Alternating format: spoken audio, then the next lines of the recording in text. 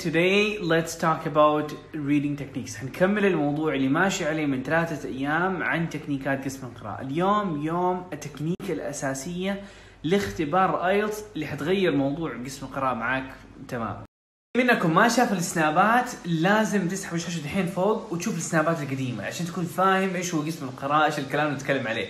لأنه الحين اليوم حندخل في تكنيك شوية عميقة ولازم تكون عندك خلفية من أول عشان تفهم ليش هي مهمة.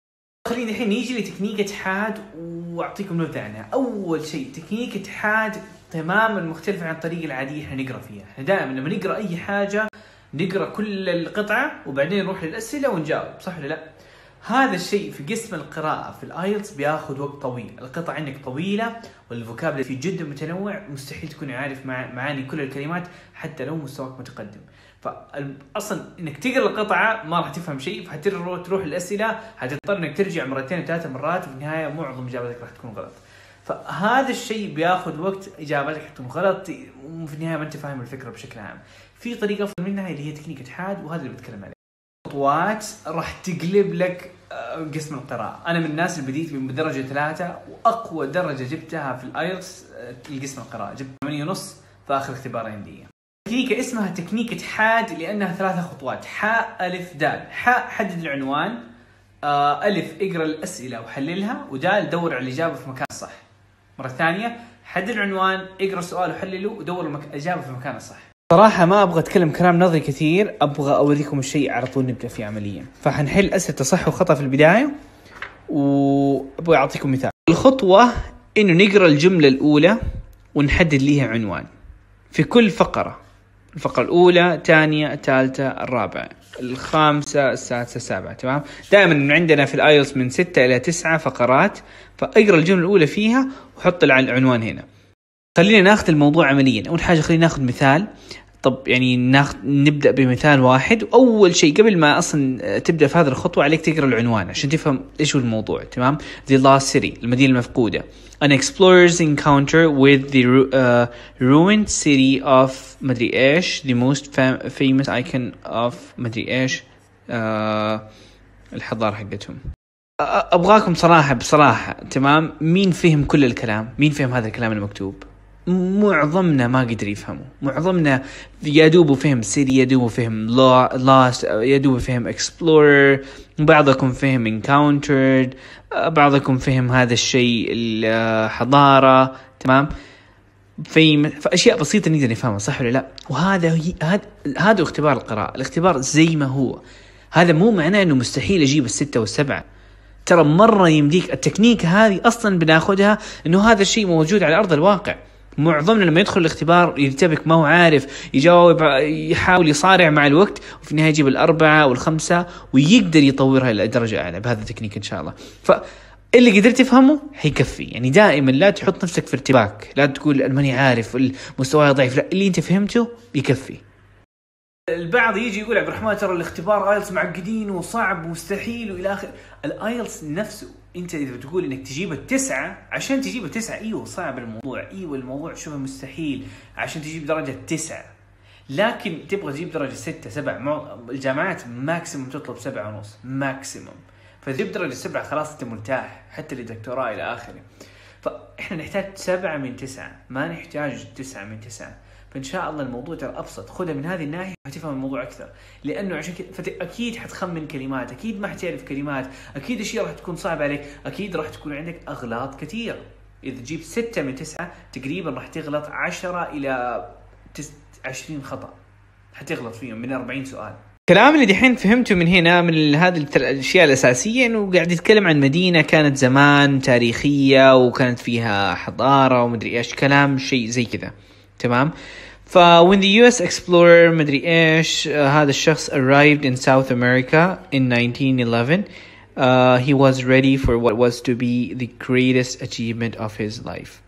خلينا ناخذ هنا ما يحتاج كمان نكمل الجملة. نوقف هنا. إيش اللي فهمته من سطرين؟ عبارة عن الاكتشاف. تمام؟ إيش اللي سواه؟ إيش اللي اكتشفه؟ تمام؟ اللي هي هذه المدينة. اكتشفها. فهو بيتكلم كيف اكتشف.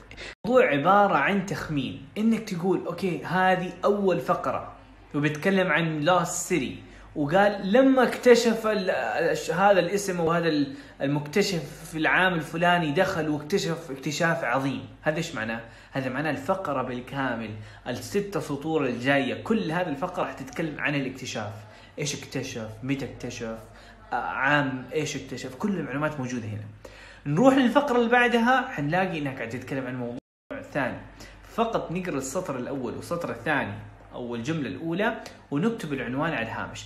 هذه الفكرة راح تساعدنا إنه ندور الإجابة بشكل أسرع. حنشوف لما حناخذ تكملة المثال. نجي نكمل ناخذ الفقرة اللي بعدها؟ when هذا الشخص and his team set off down the uh, إيش هذا الشيء؟ ماني متأكد منه. late January they had uh, an advantage over travelers who had been preceded them a track had recently been blasted down the valley uh, canyon to enable rubber to product by مدري ايش الى اخره مرة ثانية صعب ومعقد ومرة ثانية ما نخاف من هذا الموضوع لأن الموضوع طبيعي دائما الأسماء ما يحتاج أنك تتعلمها.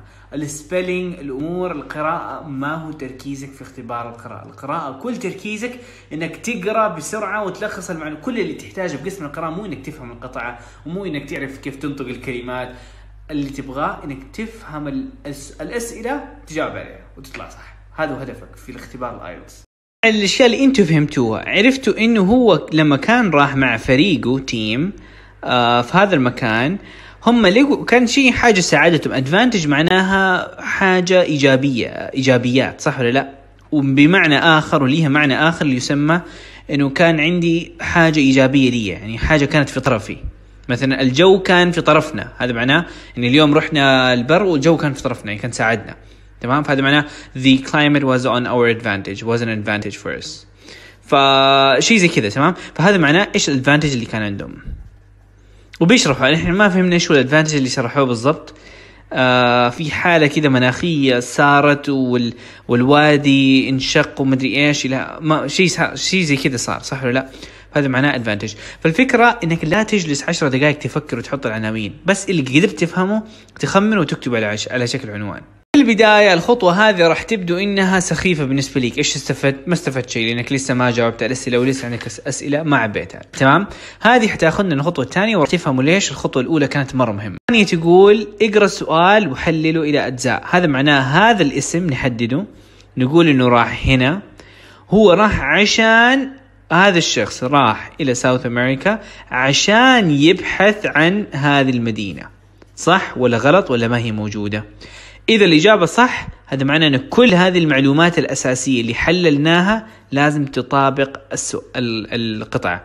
فالس واحدة من هذه المعلومات مخالفة تماما غلط. Not given واحدة من هذه المعلومات ما هي مذكورة. ليش حطيت دوائر على هذه الكلمات؟ ليش حطيت دوائر؟ طيب ليش؟ طيب يعني ليش ما أحط دائرة هنا؟ الإجابة أنه أبغى أركز على الكلمات الأساسية اللي راح أبحث عنها في القطعة اللي راح تكون عبارة عن الإجابة. وانت ما لي علاقة. وانت معناه راح. أكيد راح للساوث فهذه ما هي كلمة أساسية. هذه ما هي كلمة أساسية. هذه ما هي كلمة أساسية. هذه ما هي كلمة أساسية. هذه ما هي كلمة أساسية.